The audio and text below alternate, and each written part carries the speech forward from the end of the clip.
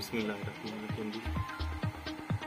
ये my home का system लगाया गया है 1.5 किलो वाट की मोटर है और सनलाइट बहुत कम है, इस टाइम सुबह का टाइम है।